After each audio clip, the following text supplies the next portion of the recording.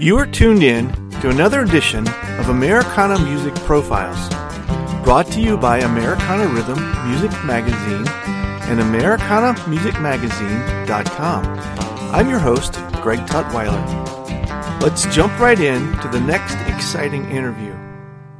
Singer songwriter Kristian Montgomery can trace his origins to singing in the church choir. As a young man, he was even awarded a medal for his voice singing in a rock band in Boston. As with many artists, the journey of life has taught many lessons along the way, and a lot of those show up in his new 16 track CD entitled The Gravel Church. Kristian is my guest on this edition of Americana Music Profiles. Hi, Kristian. Welcome to the podcast today. Hey, thanks.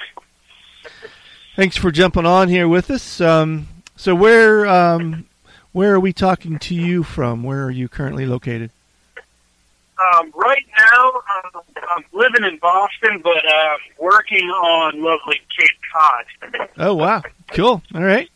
And when you say working, there's a lot of people that aren't working uh, in our current situation today. What what are you up to?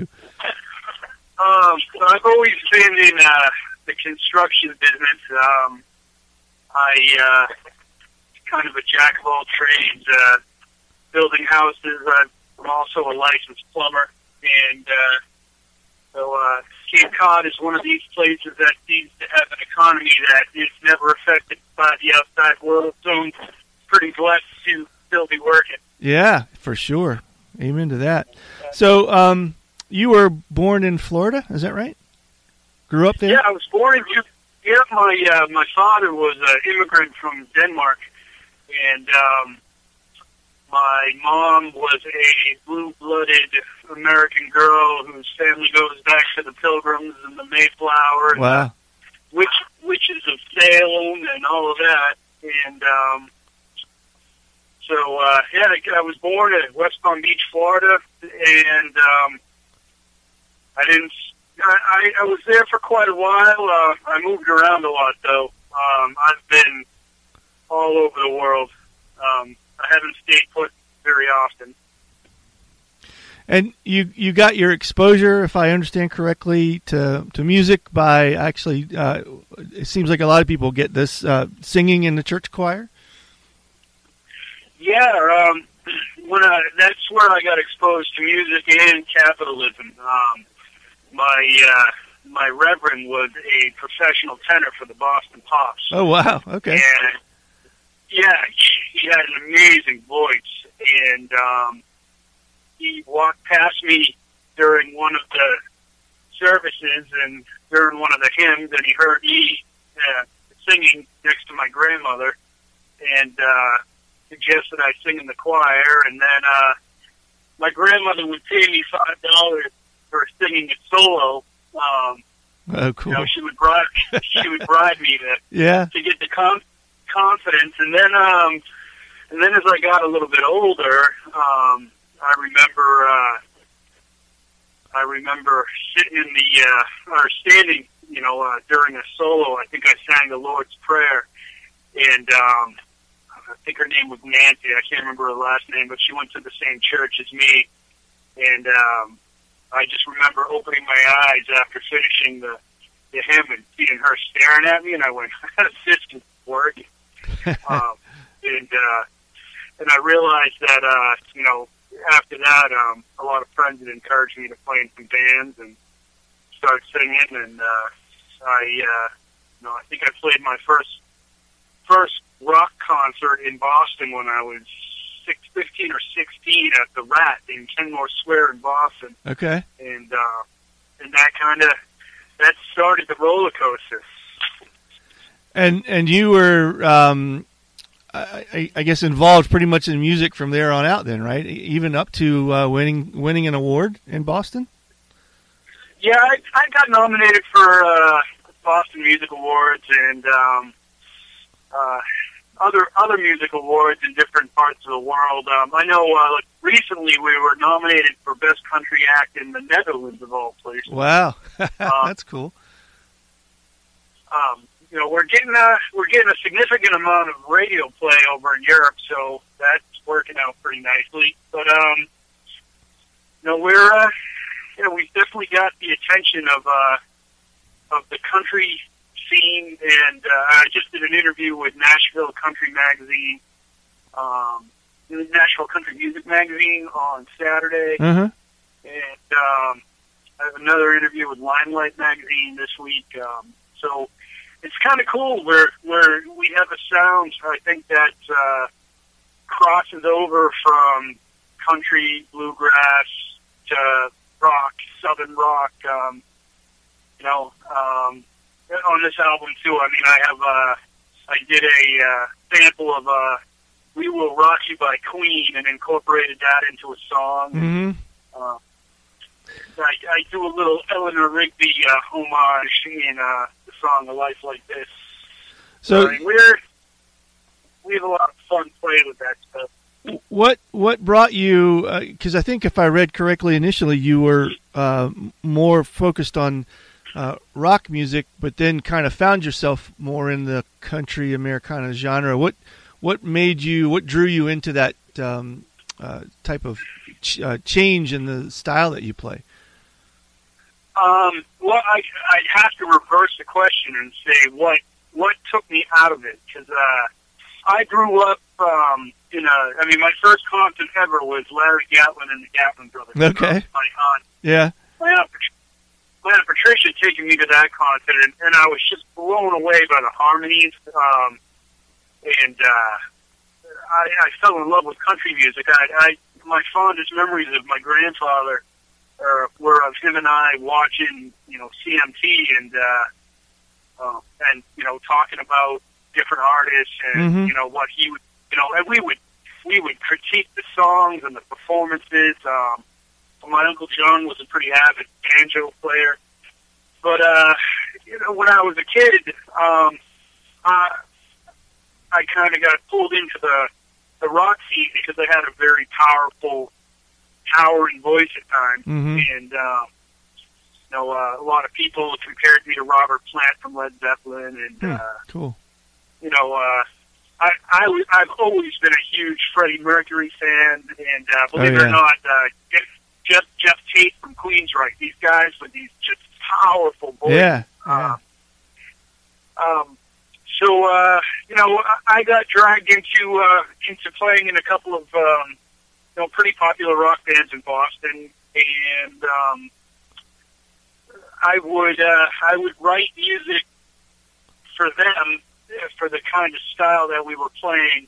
Um, but it was when I approached people with some of my music that was a little bit more just me, uh, the con- of uh, some of my country stuff. It, it never seemed to get taken by those guys. So uh, this was my opportunity to kind of, I guess, find my individual sound. Mhm. And uh, you know, there, there's some, there's definitely influence there from some of the rock that I've played in the past. But um, no, I think I, I think I just uh, when I did this record, I said I'm just gonna, I'm, I'm, I'm not gonna think about how it's turning out, where it's gonna go. I'm just gonna do it, and that's how we produced it. It Just um, everything on the record was kind of just happenstance, and uh, spur of the moment, it just happened. And uh, the record you're speaking of is the um, the one titled "The Gravel Church." Is that right? Yep. Yep. And that's out now.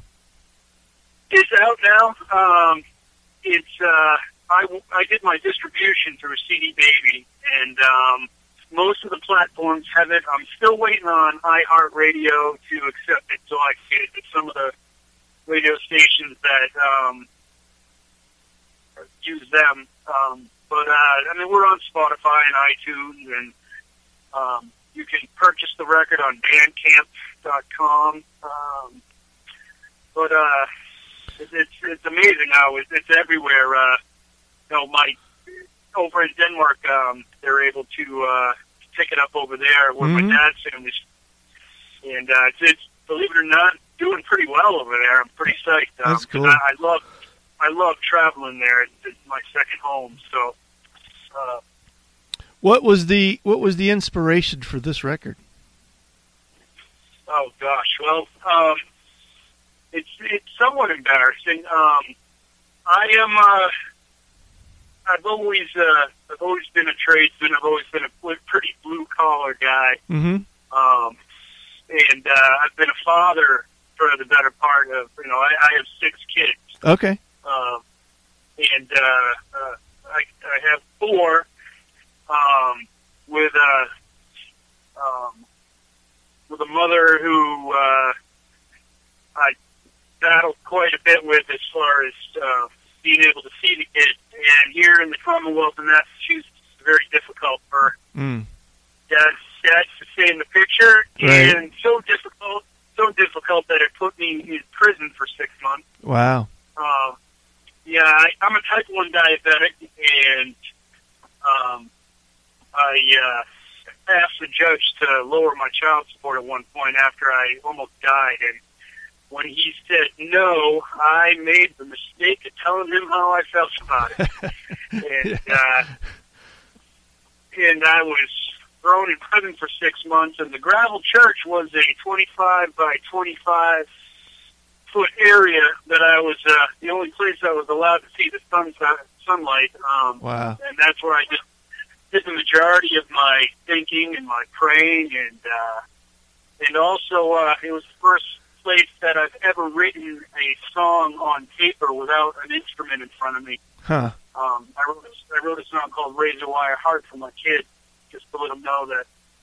I was I'm still here and I'm Right. not Yeah. giving up. Yeah, I would imagine an experience like that gives you uh, plenty of um, plenty of things to write about uh, once you get a chance to sit Uh, down and put them on paper and work them out. It it sure did. Uh, you know, I I had a uh, uh, I had an instant where I was in a, a situation where uh, I uh, had a conflict with a man who was quite a bit younger than me, and I ended up in solitary confinement for a week for getting into fisticuffs with this gentleman, Hmm. and uh, I mean, it was all over the fact that I snored. Oh Um, no. But uh, but you know, I, I walked out of there in a, in a way somewhat proud, thinking to myself, you know, I still got it. Yeah. well, uh, yeah. You know, I, can still I can still run with the pack. So So was music? Were you involved with music in any sort of significant way prior to to spending time in jail? I was. Um, I I got remarried to uh, my childhood sweetheart, who um, you know we we both lived in a fishing village, and um, I used to check her out down on the docks when we were kids, and um, you know she got divorced around the same time as me. And when we got married, we talked about it, and she said, "Listen, you've been so close so many times to being able to just do this for a living." Yeah. and it, it's your passion, it's your calling. You know, whatever resources we have to expend, let's go for it. Um, and uh, we were planning on getting into the studio prior to that, um, just to do a five-song EP, and then that turned into a 16-song album, which was kind of the, uh, uh, you know, it, that those 16 songs represent a year in my life that are, uh, Yeah. and, and it's meant to be listened to as an album. It's, Okay. Uh, I, I know that this is uh, a day and age where, there, you know, the attention span has dropped and the interest level as far as like what the songs are really about anymore sometimes seems unimportant. But I mean, this this is an album uh, that you know described everything that happened to me hmm in hmm a in a certain point in my life, and so it, it was very cleansing, and it was very. Uh, I mean, it just uh, it was like a deep exhale after it was finished. Yeah. So, I'm sure. So when you when you play out with this record and this music, do you get to play it that way? Do you get to play it conceptually as as it was written, the way you want people to understand it? um, uh, we do. Uh, we um, we definitely. Uh, my guitar player Joe and I, uh, and bass player Tim, have a really cool chemistry, and and the Winter Kill Band is kind of an, an evolving thing that people come in and out of. Uh, I had a, a good friend, uh, Keith Schleicher, that was bass player uh, of a band, the Heave Ho in Boston. Um, this guy Jeff Armstrong came in and sat in on six songs. Uh, he's in a band called the Delta Generators. Um, they're starting to do really well. Um, they're a bluegrass, um, you know, Hmm. Americana band. Yeah, cool. Uh, I, I, I would recommend them to everybody. They're really good. Uh, they just got on the soundtrack of a couple of uh, um, cool television shows. Oh, neat. Um, yeah, but they're uh, you know, I, people come in and we, you know, these songs. Uh, they're definitely not played live the way they are on the album. I mean, everybody takes liberties. Everybody has a chance to to kind of go off on a tangent. Mhm. Um, hmm my very my very good friend Kayla Dutton um, um, was uh, kind enough to donate some time and sing on my record. Uh, she uh, she sang on uh, a life like this, and uh, at the end of uh, "Take You Home," which is uh, a song that I wrote about uh, dating after getting divorced.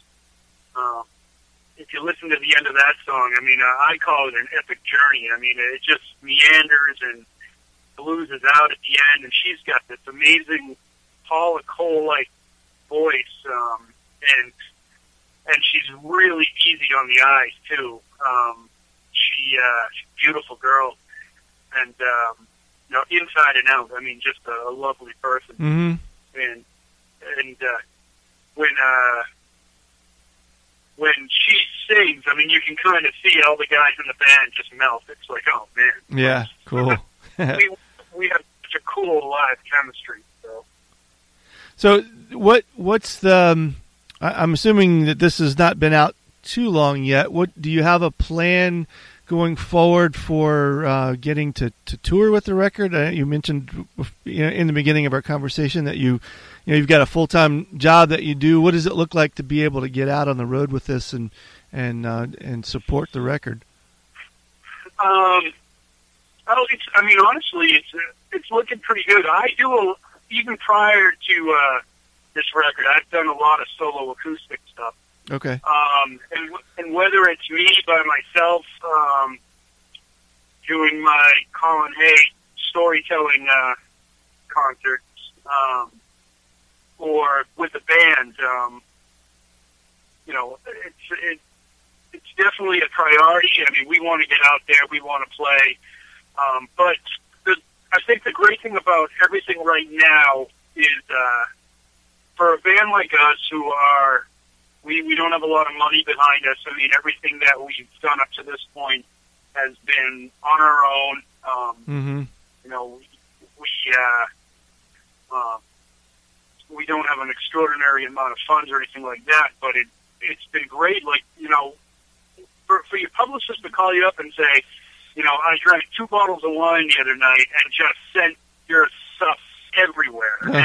Uh-huh. usually, usually, usually they don't have the time to really put to put into this stuff. I mean, the world, it's like it's just such a busy place now, and and everybody's Yeah, a mile. yeah. This has slowed slowed the pace down a little bit to where people like us, who may, you know, we're not a major market, you know, yet. Um, we we have the opportunity to kind of get a word in. Sure. So- Sure. Yeah. Yeah. So I'm, ho- I'm hoping that by the time that everybody's allowed to go back out and play and enjoy life, um, that we will have had the opportunity to tell everybody about our album and tell everybody about our, you know, what our live shows are about, Sure. Yeah. and, uh, and to have people want to come out and do that. Yeah, yeah, that's awesome. Um, so the record again is the Gravel Church, and um, remind us of your website, how people can get in touch with you. Yes, you can find us on all the music platforms. Um, my my personal website is www.amwkb.com, and um, all of our links to social media are there. Our links to all of our uh, stuff that we've done with the media, um, and uh, links to all of our music, YouTube, and all that there. So you can see some of the live stuff that I've done. Um, I've already got enough material for another record up on YouTube. Oh, uh, cool. Okay. My my producer Joe is like, dude, I I can't keep up with you, but like this is this is an, the next album's going to be just as full of hits as the last one. You can Wow. already tell. Yeah, that's so cool. Good. Well, thanks, Kristian. I appreciate you sharing your story and and um, letting us learn more about your music, and we certainly wish you well with it. Thanks. Thanks again for tuning in to this episode of Americana Music Profiles. Find us on iTunes at Americana Music Profiles and on the internet at AmericanaRhythm.com.